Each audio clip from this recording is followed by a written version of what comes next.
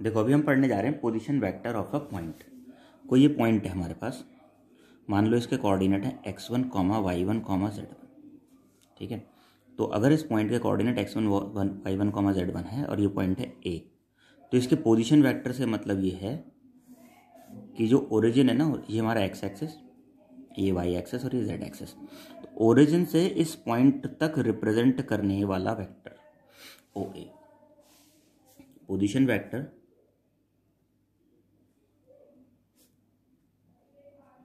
of A मतलब O A vector ये क्या लिखा जाएगा? X one I plus Y one J plus Z one यानी कि इस पॉइंट तक आने के लिए हमने एक्स एक्सेस पे जो है, वो डिस्टेंस कितना ट्रेवल किया? एक्स वन लेंथ जो है कितनी है? एक्स वन वाई एक्सेस पे कितना? जे वो वाई वाई वन और जेड एक्सेस पे कितना? के सॉरी जेड वन ठीक है? एक्स एक्सेस पे, देखो आई है ना? आई होता है एक्स एक्सेस के लॉन्ग यूनिट वेक्टर जो जे होता है, वो होता है वाई एक्सेस के लॉन्ग यूनिट वेक्टर और जेड जो के है, वो क्या होता है? जेड एक्सेस के लॉन्ग यूनिट वेक्टर तो देखो आई एक्स वन के साथ लगा यानी कि एक्स एक्सेस पे डायरेक्शन बता देना इसने? एक्स एक्सेस पे कितना डिस्टेंस ट्रेवल किया? एक्स वन वाई वन के साथ जे लगा हुआ है, इसका मतलब जे कौन से एक्सेस के लिए यूनिट वेक्टर है? वाई एक्सेस के लिए. तो वाई एक्सेस पे कितना डिस्टेंस ट्रेवल किया उसने? वाई वन और जेड एक्सेस के लिए के यूनिट वेक्टर लगा हुआ तो यानी कि जेड एक्सेस पे इसने कितना डिस्टेंस ट्रेवल किया? जेड वन ठीक है? एक्चुअल में क्या है? जो एक पॉइंट होता है, वो क्या होता है? अगर हम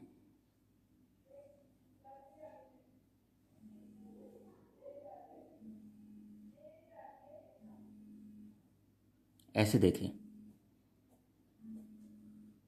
तो हम इस पॉइंट की बात कर रहे हैं ए ये ए स्पेस में है ये point X one comma Y one comma Z one देखो, यहाँ से यहाँ तक आए हम एक्स वन फिर यहाँ से यहाँ तक वाई वन और फिर ये जेड एक्सेस पे जेड वन जेड एक्सेस इधर है ना?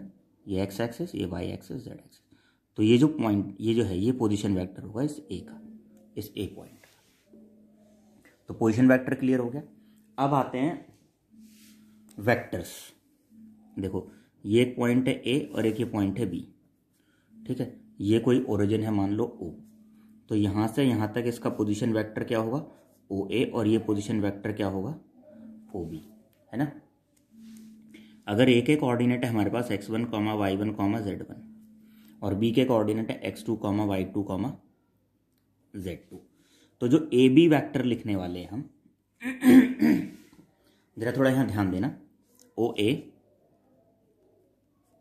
प्लस ए बी, क्योंकि यही दोनों ऐड होंगे। देखो, इस वेक्टर का हेड और इस वाले वेक्टर का tail, O A plus A B किसके इक्वल हो जाएगा? ओ बी के इक्वल हो जाएगा। यानी कि यहाँ से जो ए बी वैक्टर लिखा जाएगा, वो क्या लिखा जाएगा? O B minus O A. ठीक है? ये ध्यान रखना है तुम्हें। अगर तुम ए बी वैक्टर लिख रहे हो तो इसका मतलब है position vector of B minus position vector of A अगर ए बी लिखा जा रहा है, जो बी बी लिखा ना बाद में, जो बाद में लिखा उसका पोजिशन वैक्टर पहले आएगा माइनस पहले वाले का पोजिशन वैक्टर बाद में आएगा। ठीक है, ये याद रखोगे। ये और ये दोनों सेम चीज़ें हैं। अब, जो ओ ए वैक्टर है, वो क्या होगा? X one I Y one J Z one K O B vector क्या होगा? X two I Y two J और जेड टू के। अब देखो, जो ए बी वैक्टर लिखा जा रहा है ओ बी ओ बी तो ये था।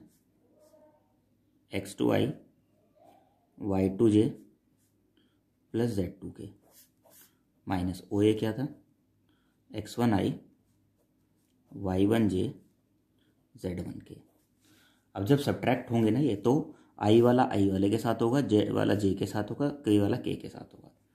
तो ये दोनों एक साथ आएँगे, क्या लिखा जाएगा? X two minus X one I plus ये वाली टर्म इसके साथ आएगी तो Y two minus Y one J plus ये वाली टर्म उसके साथ आएगी। Z two minus Z one K ठीक है? यानी कि अगर हमें एक वेक्टर लिखना है ए बी ठीक है? अब देखो बी के कोऑर्डिनेट क्या थे? X two Y two Z two ये थे ना? X two Y two Z two और ए क्या था? X one Y one Z one. जब हम ए बी वैक्टर लिख रहे हैं ना तो बी का एक्स कोऑर्डिनेट पहले आएगा, माइनस फिर एक्स, उसका ए का आएगा, आई। फिर बी का वाई कोऑर्डिनेट आएगा, वाई टू। फिर माइनस ए का Y coordinate, Y one, J plus B बाद में लिखा ना, उसका कोऑर्डिनेट पहले है। तो Z Z two minus Z one K. तो हमने यहाँ पे ना वेक्टर लिखना सीखा दो तरीके से। एक, अगर कोऑर्डिनेट पता है तो इस तरह से लिखोगे। और दूसरा पोजीशन वेक्टर के टर्म्स में ऐसे लिखा जाएगा। ए बी वैक्टर लिख रहे हैं तो ओ बी माइनस ओ ए लिखना पड़ेगा, ध्यान रखना। अब जरा देख लेते हैं, तुम्हें समझ में आया नहीं आया। अगर पी क्यू वैक्टर लिखा हुआ है पी क्यू ठीक है तो इसका पोजीशन वेक्टर के टर्म्स में क्या लिखा जाएगा? क्यू पहले आ रहा है ना तो O Q minus O P लिखा जाएगा, ठीक है। अब अगर पी पॉइंट है, उसके कोऑर्डिनेट थे वन माइनस वन और टू और क्यू पॉइंट है, उसके कोऑर्डिनेट थे थ्री टू माइनस फाइव अब हमसे पी क्यू वैक्टर लिखने को कह दिया जाए पी क्यू तो पहले क्यू वाला कोऑर्डिनेट आएगा three minus one I plus two minus minus one J plus minus five minus two K ये तो लिखा जाएगा three minus one is two I plus three J और माइनस का सेवन के। तो हमने ये वेक्टर लिखना सीखा दो तरीके से। एक पोजीशन वेक्टर के टर्म्स में और एक कोऑर्डिनेट के टर्म्स में।